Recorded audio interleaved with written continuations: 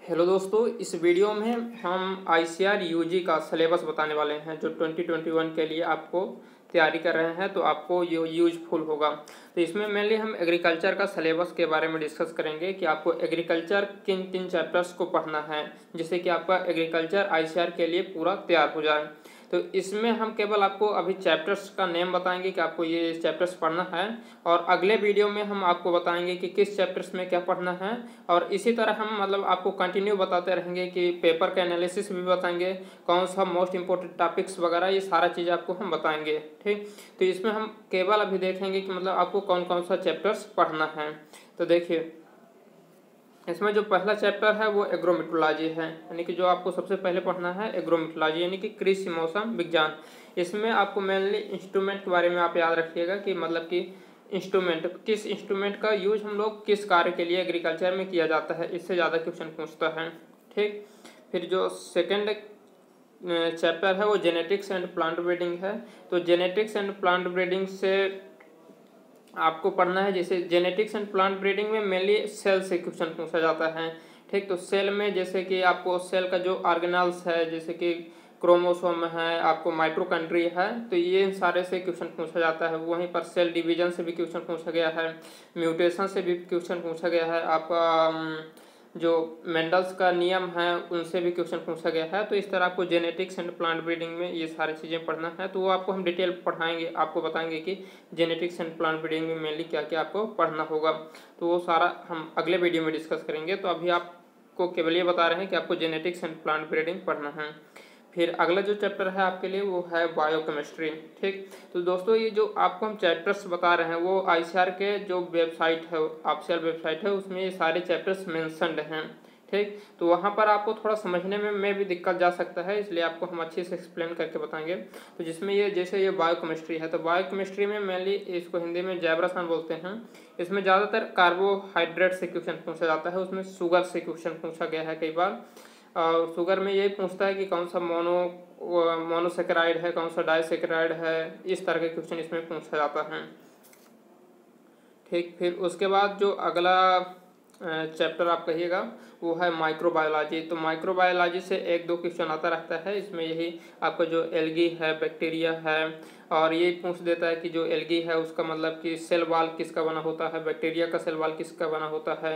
Actino actinomycetes है, और ये भी क्वेश्चन पूछा गया है कि जैसे सवाल में सबसे ज़्यादा कौन सा मतलब कि माइक्रो ऑर्गेनिज्म सबसे ज़्यादा पाया जाता है? तो इस तरह के क्वेश्चन ये माइक्रोबायोलॉजी से पूछा जाता है. ठीक? फिर उसके बाद आपको पढ़ना है एनिमल हजबेंड्री तो देखिए एनिमल हस्बेंड्री आईसीआर के दृष्टि से आईसीआर की दृष्टि से बहुत ही इम्पोर्टेंट ये चैप्टर्स है, ठीक ना? इसमें से आपको मान लीजिए कि दस क्वेश्चन के आसपास आता है। जो 2019 की हम बात करें तो 2019 में इससे मतलब एनिमल हजबेंड्री से दस क्वेश्चन आया था। तो इसमें आपको मतलब थोड़ा इसको स्कोप के बारे में पढ़ना है इम्पोर्टेंस के बारे में पढ़ना है। केयर एंड मैनेजमेंट के बारे में पढ़ना है और ये आर्टिफिशियल इंसेमिनेशन से एक दो क्वेश्चन हर साल आता है तो इसके बारे में भी पढ़ना है। यानी कि जो हम कृत्रिम गर्भाधान करते हैं जिसका आपको पता होगा कृत्रिम गर्भाधान उसके बारे में क्वेश्चन पूछा जाता है। तो जो ये एस में मेनली क्वेश्चन पूछा जाता है वो ब्रेड से क्वेश्चन पूछता है। ब्रेड से और एनिमल डिज़ीज़ से ठीक? तो ये दो चीज़ें आपको बहुत अच्छे से तैयार करना है और तीसरा ये, ये आर्टिफिशियल इंसेमिनेशन को तैयार करना है, ठीक? तो वो आपको हम अगले वीडियो में डिस्कस करेंगे कि मतलब कि एनिमल हस्बेंड्री में मेनली आपको किन किन चीज़ों को ज़्यादा फोकस करना है। आपको एक अभी बेसिक आइडिया दे रहे हैं। फिर अगला जो टॉपिक है या चैप्टर कहिएगा, ये है क्रॉप प्रोडक्शन तो देखिए, अगर आपको मतलब कि इन चैप्टर्स को आप अलग अलग भी कर सकते हैं, लेकिन इसमें जो आईसीआर है वो एक में ही सारा कर दिया है। तो क्रॉप प्रोडक्शन के अंतर्गत आपको पढ़ना है इंट्रोडक्शन के बारे में। तो इंट्रोडक्शन मतलब कि जैसे आपको क्रॉप का क्लासिफिकेशन पढ़ सकते हैं, जो कई प्रकार के क्रॉपिंग सिस्टम है, जैसे मिक्स्ड क्रॉपिंग सिस्टम है इंटर क्रॉपिंग सिस्टम है, इस तरह का, और जैसे क्लासिफिकेशन में cash crop crop catch crop ये सारी चीज़ों को आप पढ़ सकते हैं मतलब इंट्रोडक्शन में। फिर सॉइल साइंस है तो सॉइल साइंस में मेनली आपको ध्यान देना है प्लांट न्यूट्रेंट के बारे में और सॉइल का जो प्रॉपर्टीज़ है, यानी सॉइल एयर है सॉइल वाटर है और थोड़ा सॉइल का क्लासिफिकेशन है, इन चीज़ों को ध्यान देना है और प्लांट न्यूट्रेंट से भी क्वेश्चन इससे पूछा जाता है और फर्टिलाइज़र से तो इन चीज़ों से मतलब कि ये सॉइल साइंस में क्वेश्चन पूछा जाता है। अब देखिए, आप अगर बी की तैयारी कर रहे होंगे तो बी में इरीगेशन एंड ड्रेनेज से क्वेश्चन नहीं आता है तो लेकिन आईसीआर में इससे दो तीन क्वेश्चन मतलब पूछा जाता है तो इसको मतलब इरिगेशन यानी और ड्रेनेज को भी ध्यान देना है। फिर अगला जो टॉपिक चैप्टर कहिए बेड साइंस है तो बेड साइंस यानी खरपतवार विज्ञान, इससे भी क्वेश्चन पूछा जाता है। इसमें मेनली हर्बिसाइड से क्वेश्चन पूछता है हर्बिसाइड का ट्रेड नेम से क्वेश्चन पूछता है, और किस क्राप में कौन सा हर्बिसाइड है और हर्बिसाइड का क्लासिफिकेशन हर्बिसाइड का क्लासिफिकेशन बीड्स का क्लासिफिकेशन कौन पेरेनियल बीड है, कौन बाइनियल बीड है, कौन एनुअल बेड है तो इस तरह का क्वेश्चन पूछता है। उसके अगर बात बात करें तो ये क्राफ्ट से क्वेश्चन पूछता है तो क्राफ्ट से आप बात करें तो मतलब कि अभी जैसे 2019 की बात करें तो दो तीन क्वेश्चन ही पूछा है। तो इसमें आपको सारे क्राफ्ट के बारे में पढ़ना है, जैसे कि राइस व्हीट मेज वगैरह है तो इन सारे मतलब एग्रोनॉमिकल क्राफ्ट के बारे में पढ़ना है। उनका बोटेनिकल में वगैरह सीड रेट सीड रेट से क्वेश्चन पूछता है तो इस तरह आपको क्राफ्ट के बारे में पढ़ना है। ठीक? फिर वहीं पर बात करें हार्टिकल्चर की। तो हार्टिकल्चर से भी मतलब 2019 में 10 क्वेश्चन आया था। तो इसमें आपको मतलब कि मेनली जैसे कि पोमोलॉजी के बारे में पढ़ना है, यानी फल विज्ञान जैसे कि आम के बारे में, अमरूद के बारे में, इनके मेनली वेराइटी से ज़्यादा क्वेश्चन आता है और प्रोपगेशन से ज़्यादा क्वेश्चन आता है।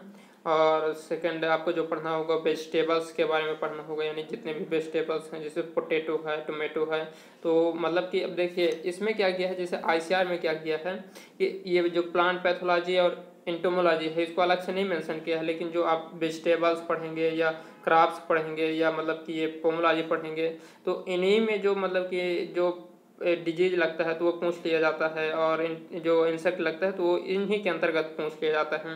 तो इनसे रिलेटेड आपको डिज़ीज़ भी पढ़ना है, ठीक? फिर जैसे ये फ्लोरिकल्चर भी पढ़ना है तो फ्लोरिकल्चर में जो सबसे ज़्यादा बार क्वेश्चन पूछा गया है, वो रोज से क्वेश्चन पूछता है और जो फ्लावर्स के मतलब प्रोपगेशन है, उनसे क्वेश्चन पूछा जाता है। ठीक? और फिर ये लास्ट है फ्रूट प्रिजर्वेशन तो फ्रूट प्रिजर्वेशन से भी एक आध दो क्वेश्चन आते ही रहते हैं, जैसे जेम है जेली है, इनका जो बनाने का मेथड है, बनाने का जो मेथड है, उसका क्रम भी पूछ लेता है। तो इस तरह का आपका जैसे कि ये सात चैप्टर पढ़ना है मेनली अब सात चैप्टर के अंतर्गत भी ये विस्तार से आपको हम अगले वीडियो में बताएँगे। तो ये सात चैप्टर्स और उसके अंतर्गत भी जो आपको पढ़ना है, वो सारा हम इस वीडियो में बता दिए हैं।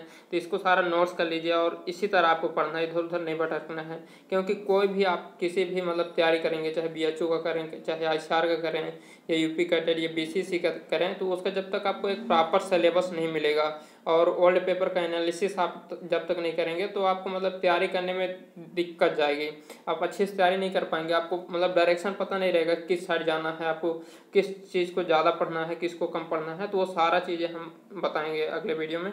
तो इस वीडियो में इतना ही दोस्तों। तो ये सारा चैप्टर्स एंड जो भी हम डिस्कस किए हैं, वो सारा नोट कर लीजिएगा और इसी के अनुसार आप तैयारी करिएगा। Thank you for watching this video